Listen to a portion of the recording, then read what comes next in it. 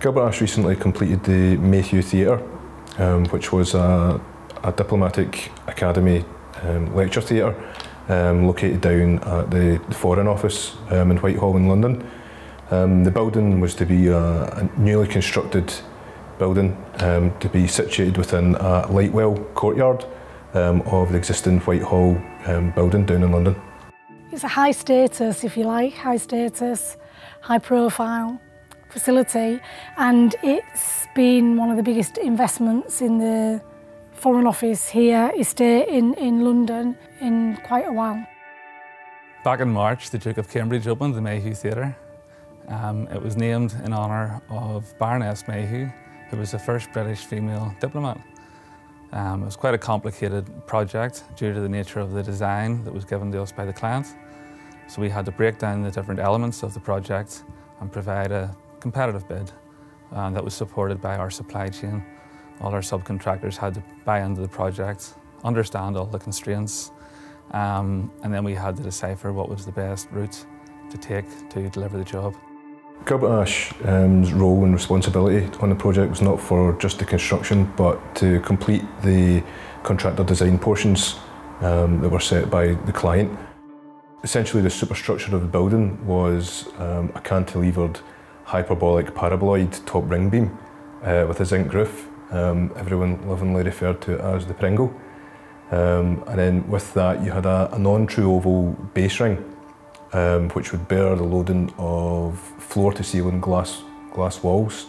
Um, so you had these glass panels that um, curved over two planes, horizontal and vertical. Um, within the building you had a, an elliptic paraboloid cedar slat ceiling also.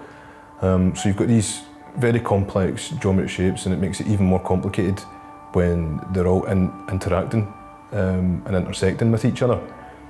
Um, in order for us to capture on-site dimensions and set out dimensions on site, um, the only way that we could see to do that was to capture that in 3D.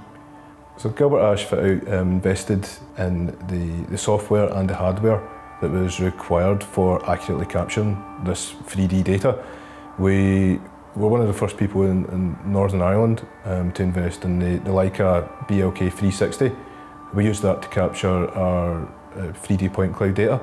Um, and once it's captured, we were able to extract that data and use that within Revit, um, Tekla and Navisworks. With our 3D models that we had developed, we were able to use Navisworks um, as a coordination tool. Um, this helped us to easily identify clashes between all three disciplines um, and we could hold workshops uh, with the, the subcontractors um, to develop um, methods um, and changes to the design as the, the building was still progressing during its construction phases. The construction process involved a lot of consideration for all the works packages. Everything had to be meticulously thought out, um, off-site by using digital construction methods. Um, we pre-erected the steel frame so we could verify the sizes for the glass were going to be accurate before it was manufactured and sent to site. Due to the, the long lead time and the high cost risks um, for the, the purchasing of the, the glass um, as it curved over two planes, we had to order that before the, the steel superstructure was fabricated and constructed on site. At each stage of the, the, the fabrication um, of the steel superstructure, we were able to accurately take measurements um, from the, the mock erection um, down to the, the on-site construction and the removal of props.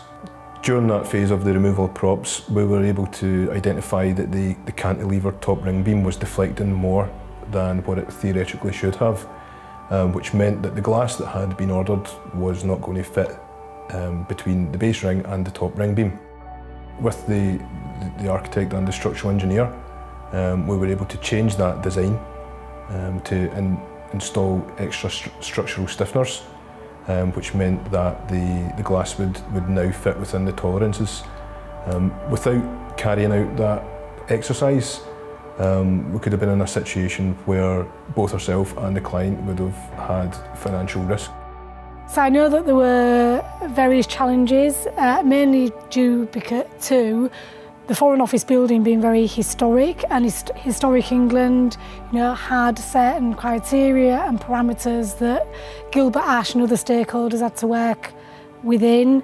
And I know that one of those things was this is a brand new building in a courtyard and it wasn't allowed to touch the existing historic parts of the, the building.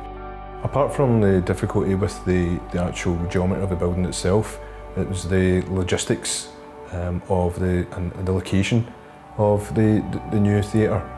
It was um, situated within the courtyard, um, which was 90 metres um, away from any any road access that we had. Um, so the building uh, went through different um, phases of how we were able to to construct that off-site and then crane it into site, into the location. There was no area for storage, um, so everything had to be created in modules and then craned into position.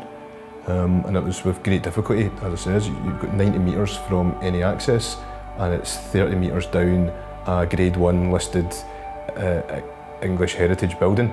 Um, and you maybe had about five, five metres on each side of that um, as you're craning this building in. It's crazy. It's, um, it's a state-of-the-art building and we've never had a space as big as this before dedicated to learning and development.